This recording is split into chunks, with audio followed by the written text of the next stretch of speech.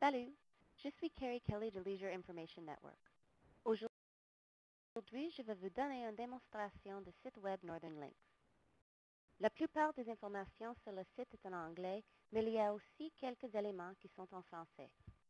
Premièrement, on veut remercier l'Agence de santé publique du Canada pour le financement de ce site et aussi merci à Bert Crowfoot pour les images photographiques qui s'offrent à nous.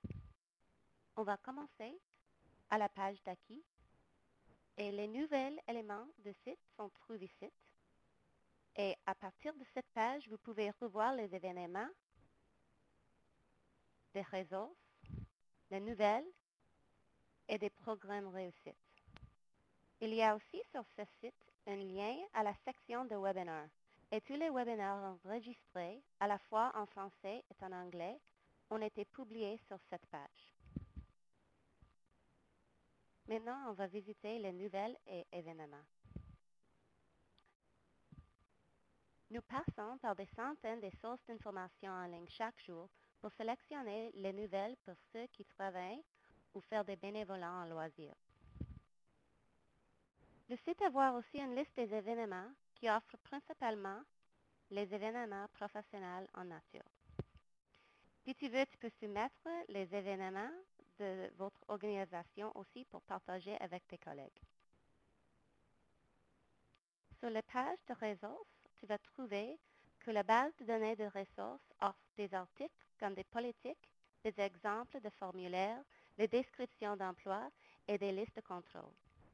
Vous pouvez rechercher par mots-clés ou en sélectionnant un sujet comme des jeux et des activités et ensuite un sous-sujet tel que des jeux traditionnels. Dans la section de programmes réussites, tu peux trouver des exemples de programmes qui s'exécutent avec succès et pouvant vous aider à offrir une source d'inspiration en essayant quelque chose de nouveau dans votre organisation. Vous pouvez rechercher des programmes par mots-clés aussi. Si tu veux chercher des sources de financement, peux visiter cette section de nos sites.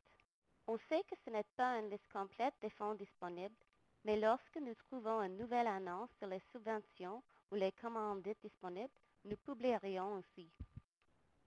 Il y a aussi l'opportunité de partage les sources que tu savais avec tes collègues.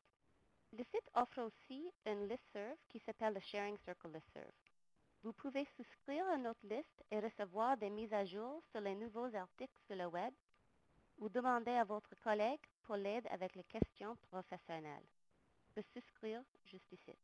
Sur la page Jeux sans frontières, tu peux trouver l'information sur l'initiative de ACPL.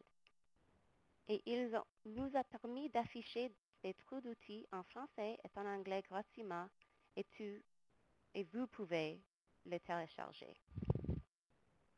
Merci pour votre temps aujourd'hui.